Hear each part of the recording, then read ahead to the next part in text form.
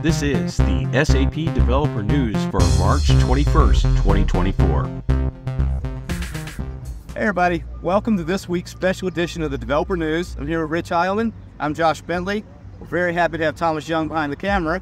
Nora's inside getting ready for a great show, but I wanted to highlight two sessions I'm doing.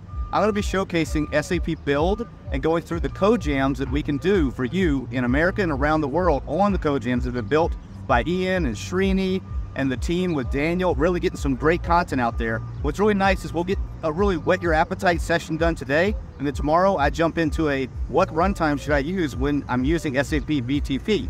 Now, I don't know anything about what Rich is doing, so let's ask him. Rich, what are you doing? Yeah, uh, so of course I'm doing ABAP. So um, I'm doing a lecture session on S4HANA extensibility, and then we're doing a, a two-hour hands-on session on uh, RAP, so the ABAP RESTful Application Programming Life.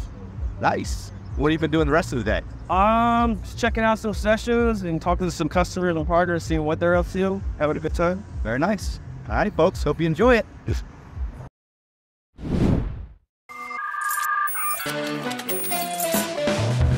Did you know the BTP CLI supports single sign-on via the browser? This is a great option for when you're already authenticated in your browser through whatever identity provider you use. One short couple of clicks and you're logged in.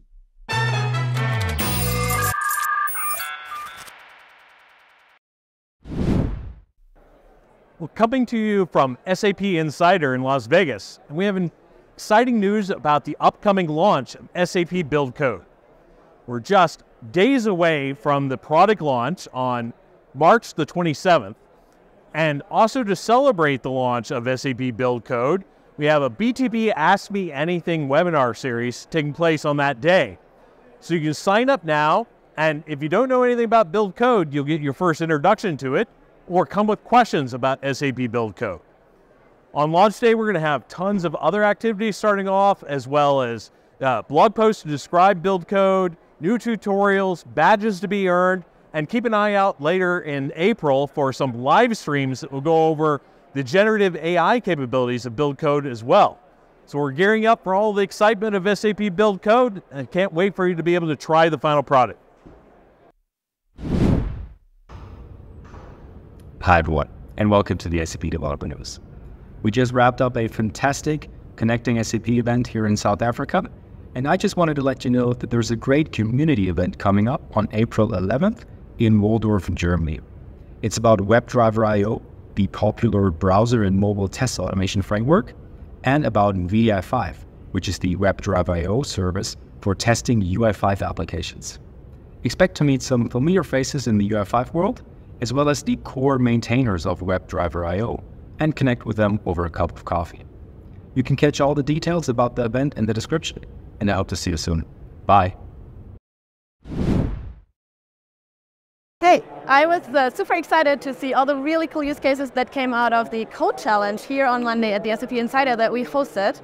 And the teams had a lot of really cool use cases and they implemented a lot of different approaches using large language models ranging from retrieval augmented generation to uh, giving the large language models um, tools to use like a search engine or very advanced prompt engineering. And the winning team actually implemented an assistant that they even integrated into an ABAP system that would help their customers um, answer questions about error messages. And what they did was they actually leveraged the entire information on the SAP community platform. So that was really cool, and they get to go to the Cirque du Soleil tonight. Yeah, so a lot of really cool things happening here, and um, see you